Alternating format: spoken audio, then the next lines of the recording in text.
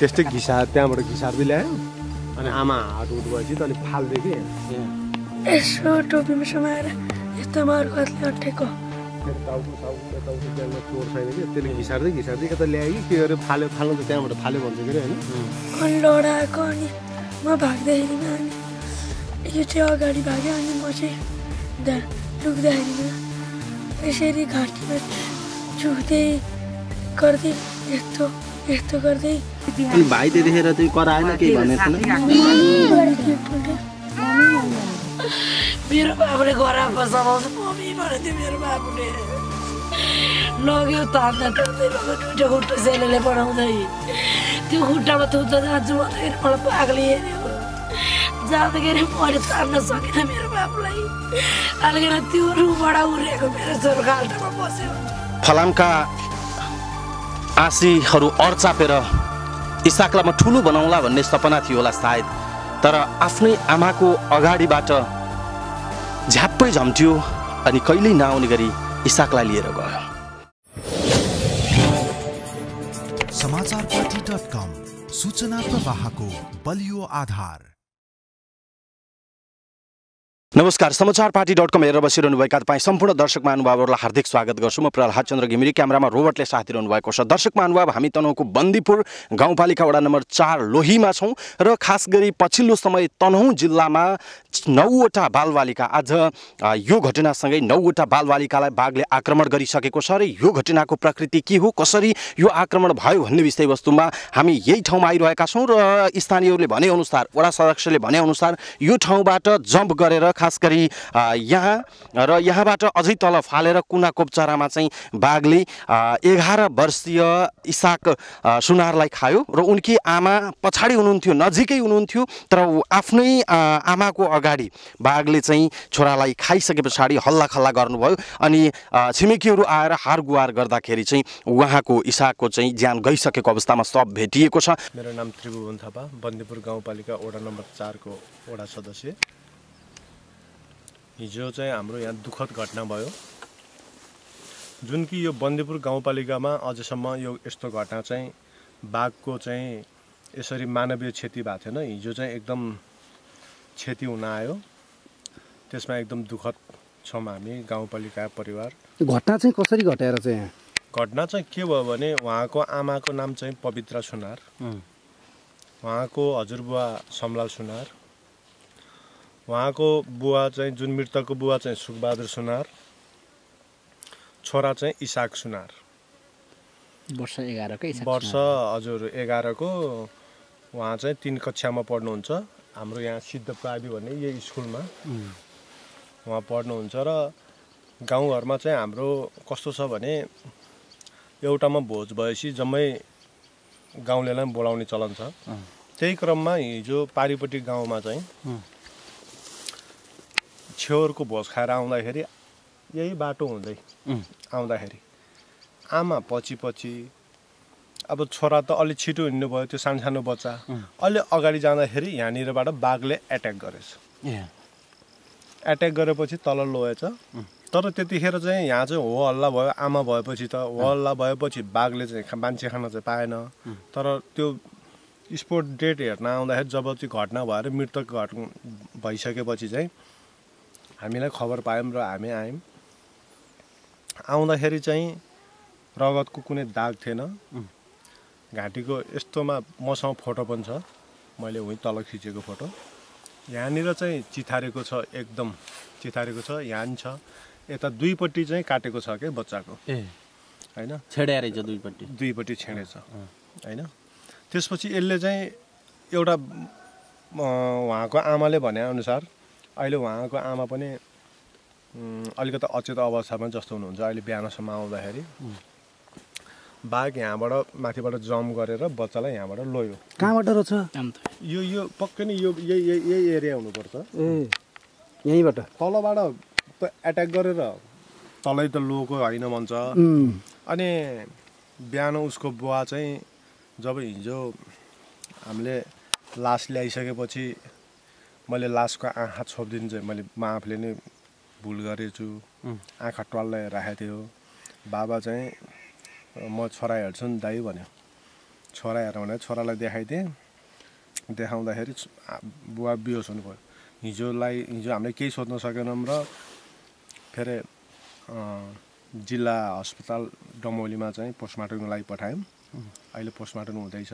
पछिल्लो समय यो घटनासँगै नौजना बालबालिकालाई बाघले या भनौँ चितुवाले एकिन्न भए पनि खाइसकेको छ। र काठको खोर बनाएर बाघहरू पनि नियन्त्रणमा लिइएको छ। तर किन खास गरी बाघ जङ्गली जनावरहरू मानव समुदायप्रति आक्रमण गरिरहेका छन् भन्ने विषय अत्यन्त महत्त्व रूपमा बहसको विषयमा आउनुपर्छ र यसलाई निराकरण गर्न के गर्नुपर्छ भन्ने विषयवस्तुमा तपाईँ दर्शक महानुभावहरूलाई पनि कतिपय कुराहरू हुनसक्छ। सुझाव तपाईँहरूले दिन सक्नुहुनेछ तलको कमेन्ट बक्समा कमेन्ट गर्न सक्नुहुनेछ र खास गरी यो घटना कसरी घट्यो हामी अरू सरोकारवालाहरूसँग पनि कुराकानी गर्छौँ।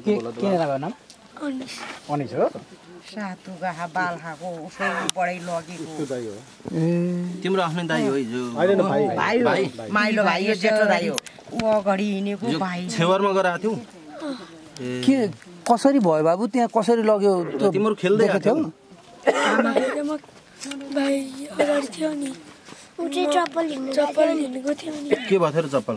चप्पल फुस्केर अगाडि गएको थियो नि चप्पल लाउनु जाँदाखेरिमा माथिबाट आम फालेर यसो टोपीमा समाएर यस्तो अर्को हातले अट्ठेको अनि लडाएको अनि म भाग्दाखेरिमा अनि यो चाहिँ अगाडि भाग्यो अनि म चाहिँ दा लुक्दाखेरिमा यसरी घाँटीमा चु चुह्दै गर्दै यस्तो यस्तो गर्दै गरेको अनि म भाग्दाखेरिमा अनि त्यो मम्मीलाई भन्दाखेरिमा अनि मम्मी आएपछि घिसार्दै तल लग्यो ए तिमीहरू आइन्जेलसम्म त्यहीँ तिमीहरूलाई हेरी हेरी उ गर्यो। अँ। त्यहीँ रोडको छेउमा राखेर घाँटी अठाउँदै यहाँ यस्तो यस्तो गरिरहेको थियो। अँ। अनि मम्मी आसी बल्ल तल लगाएको आएर अनि बल्ल घिसार्दै तल लग्यो टाक पनि हालेर। तिमीहरू चिच्चा। त्यो खेल्दै आ आएको थियो तिमीहरू फुत्कियो कि हिँड्दा हिँड्दै फुत्किएछ त भाइको चप्पल चाहिँ कस्तो थियो बाबु? बाघ चाहिँ? यस्तो कालो कालो टाटा थियो नि येल्लो कलरको थियो आफ्नै खास गरी छोरालाई आँखा अगाडि नै झम्मै अ, आक्रमण गरेर पनि उहाँले जोगाउन सक्नु भएन जोगाउन सकिएन किनकि जङ्गली जनावरले आक्रमण गरिसके पछाडि यस्तो अवस्था सृजना भएको छ। एउटा भयावह अवस्था छ। आज हामीले जानकारी पाए अनुसार विद्यार्थीहरू चाहिँ स्कुल जान डराइरहेका छन्। उनीहरू स्कुल गइरहेका छैनन्। कारण किन? बाघले आक्रमण गर्ला भनेर। बेलुका उनीहरू घरबाट निस्कन सक्ने अवस्था छैन। त्रसित अवस्था छ।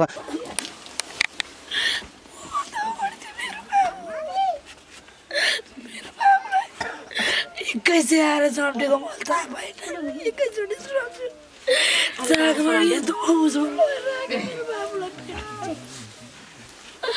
मेरो बाबुले गरापा समाउँछ मम्मी भनेको थियो मेरो बाबुले त्यति मात्रै भन्न भ्याएको थियो मेरो बाबुले त्यहाँबाट बोलेन लग्यो तान्दा तान्दै लग्यो दुइटा खुट्टा सेलेले बनाउँदै त्यो खुट्टामा थुच्दा जान्छु भन्दाखेरि मलाई पागले हेऱ्यो मेरो पाला म पछि पछि बाबु छोडेर भागेँ। तपाईँ तान्न चाहिँ खोज्नु भएको थियो मैले दुइटा खुट्टामा सधैँ तान्न खोजेको थिएँ मेरो बाघले समातेर उ गरिसकेपछि नि तपाईँले छोराको खुट्टा चाहिँ समात्नु भयो। र सहमतमा भ्याइनँ मैले। जो तान्न खोज्नु भएको थियो। तान्न खोजेँ त पछि पछि गएको थिएँ म। जाँदाखेरि मैले तान्न सकिनँ मेरो बाबुलाई। अलिकन त्यो रुखबाट उरेको मेरो छोरो खाल्टामा बस्यो। मेरो छोरोलाई यही भाल्या भनेर मैले पत्ता लगाइदिएको मेरो आँखा अगाडि नै मेरो छोरोलाई फालेको कसरी चित्त बुझ्छ सर भनिदिनु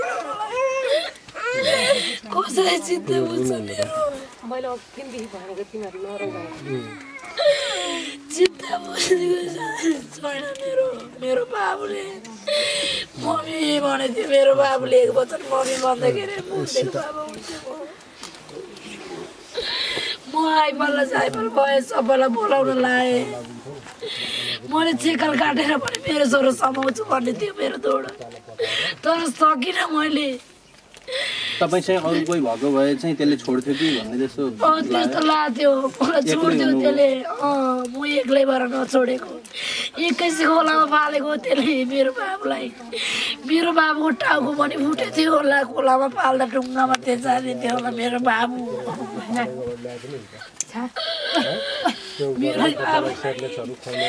यस्तो दुःख पाउनेको लाडा पर्दो रहेछ ईश्वर भगवान्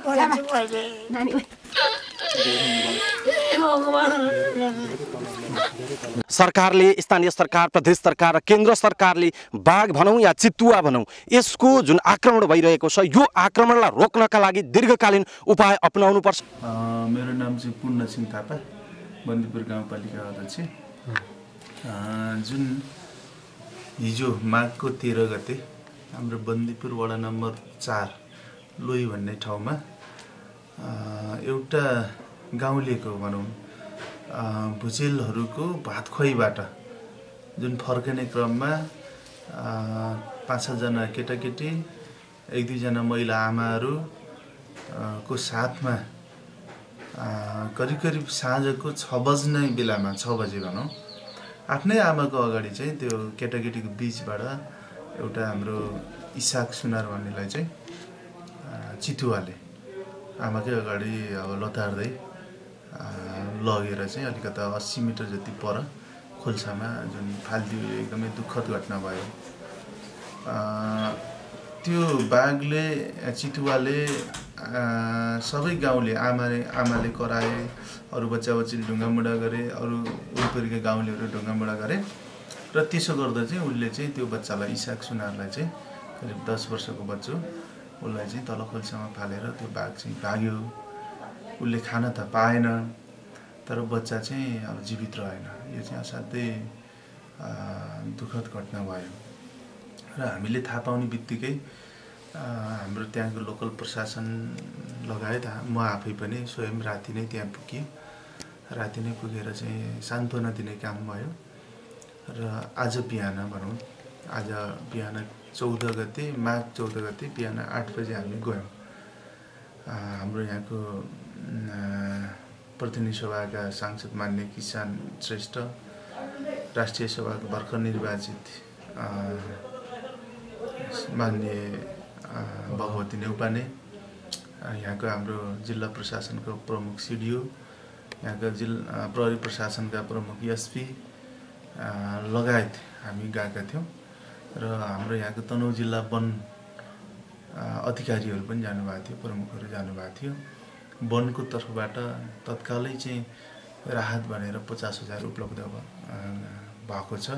र हाम्रो गाउँपालिकाको तर्फबाट पनि हामीले तत्कालै केही राहत भनेर चाहिँ पचास हजार दिने काम भएको छ। र सबै गाउँलेलाई चाहिँ हामीले निर्देशन पनि गरेका छौँ। बच्चा बच्चीलाई चाहिँ एकल नहिँडाउने साँझ नहिँडाउने सामूहिक रूपमा चाहिँ लाने होइन स्कुलहरू लैजाने भनेर निर्देशन पनि गरेका छौँ। वरिपरिका झाडीहरू फाड्नको निम्ति भनेका छौँ। साँझ ठुलै मान्छे हिँड्दा पनि लाइट बोकेर अथवा लौरोहरू बोकेर हिँड्न भनेका छौँ हामीले। र हाम्रो सरकारको तर्फबाट चाहिँ हामीले तत्कालै विद्युतहरूसँग समन्वय गरेर त्यहाँ चाहिँ सडक लाइटहरूको व्यवस्था गर्ने बत्तीको व्यवस्था गर्ने पनि भनिएको छ। र वनको तर्फबाट तत्कालै हामीले बाघको ट्र्याप खोर भनौँ न आज नै हामी एउटा खोर राख्दैछौँ र पाँच दिन जति लाग्छ काठको खोर बनाउन र काठको ठोर खोर पनि हामीले राख्दैछौँ। अहिले त एउटा प्रतिनिधि घटना भयो। यो बन्दीपुरको त्यो चार नम्बरमा मात्रै देखियो। तपाईँले त्यो बच्चालाई योभन्दा अगाडि पनि त्यो जो बाबुलाई त्यस्तो भयो होइन हजुर उहाँलाई चिन्नुहुन्थ्यो? अ, त्यो बच्चा म चिन्थेँ। अ, म एउटा स्वास्थ्यकर्मी पनि भएको नाताले। अ, बिचरा उहाँहरू चाहिँ म कहाँ सधैँ अ, उपचार गर्न ल्याउने बच्चा। कमजोर पनि रहेछ होइन? एक सुकुम्बासी हो। ए।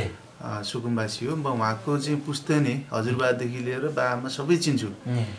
भएको बेलामा पैसा लिएर उपचार गर्ने नभएको बेलामा नि शुल्क उपचार गर्ने मेरो जुन स्वभाव थियो त्यो भएको कारणले यस्ता गरिबहरू चाहिँ अलिकति मसँग बढी झुम्बिने आउने विशेष गरेर बच्चाहरूलाई असाध्यै बढी माया गर्ने बानी जुन मेरो त्यस कारण मसँग एकदम झुम्बिन्थ्यो मसँग करिब करिब आठ दस दिन अगाडि त्यो बाबु उपचार पनि गर्न आएको थियो। असाध्यै मसँग ज्यामै थियो इसाक सुनार। त्यो घटना भयो। अब यो बाघ नियन्त्रणको लागि चाहिँ के के प्रयास गर्दैछौँ खोर बाहेक? बाघ नियन्त्रणको लागि हामीले अब यो बाघ एकदम कस्तो यो चितुवा भनेको चतुर जात हो। चितुवा हाम्रो त्यो वडा नम्बर चारमा मात्र होइन। सबै ठाउँमा चितुवा छ। आजै बिहान भर्खर पनि मलाई फोन आएको थियो हिजो वडा नम्बर तिनको तामुङ भन्ने ठाउँमा दुईवटा गाई दु- गाई मारिदिएको छ बाख्राहरू ठाउँ ठाउँमा मारिदिइराखेको छ। यसलाई नियन्त्रण गर्न अब जिल्ला प्रशासनले त मार्ने आदेश पनि दिएको छ। अब केले मार्न सक्छ र चितुवालाई भएको बन्दुक जति सबै जिल्ला प्रशासनमा छ अरे लौरोले त्यो मर्दैन होइन? त्यो भएको कारणले अब त्यसलाई मार्नुभन्दा पनि ट्र्यापमा पारेर खोरमा भनौँ न। उहिले हाम्रो पुर्खाले चाहिँ परम्परागत खोरहरू थुप्रै ठाउँमा भेटिन्थ्यो हाम्रो बन्दीपुरको। त्यस्तो खोरहरू थापेर त्यसलाई ट्र्यापमा पारेर अँ, हामीले चाहिँ बाहिर पठाउने निधो गरेका छौँ। खोरमा हालेर एक दुईवटा बाघलाई नियन्त्रणमा लिँदैमा यो कुरो नियन्त्रण हुँदो रहेनछ भन्ने त नौवटा बालबालिकालाई बाघले आक्रमण गरिसके पछाडि हामीले पनि देखिसकेका छौँ र तपाईँहरूलाई पनि लाग्ला यसको निराकरणका लागि यो बाघलाई नियन्त्रण गर्नका लागि या मान्छेलाई यसले आक्रमण नगर्नका लागि के के गर्न सकिएला त? तपाईँहरूसँग पनि त्यस्ता खालका सुझावहरू हुन सक्छन् आइडियाहरू हुन सक्छन् तपाईँहरूले कमेन्ट बक्समा कमेन्ट गरिदिन सक्नुहुनेछ र आशा गरौँ योभन्दा पछाडिपट्टि अर्को भिडियो हामीले बनाउनु नपरोस्। अर्को कार्यक्रम उत्पादन गर्न नपरोस् कि बाघले आक्रमण गरेर खास गरी बच्चाको ज्यान गयो भनेर भन्ने स्थितिको चाहिँ कार्यक्रम बनाउन नपरोस् र स्मरण रहोस् दर्शक महानुभावहरू एघार वर्षको बालक यो भनेको सबैभन्दा ठुलो उमेर समूहको बालक हुन्। योभन्दा पहिला साना साना बालकहरूलाई आक्रमण गरेको थियो बालबालिकालाई आक्रमण गरेको थियो बाघले या भनौँ चितुवाले। के हो त्यो? यकिन पनि भइसकेको छैन। त्यसकारण यसलाई दीर्घकालीन समस्या यो समस्यालाई चाहिँ दीर्घकालीन समाधान गर्नुपर्ने आजको आवश्यकता छ।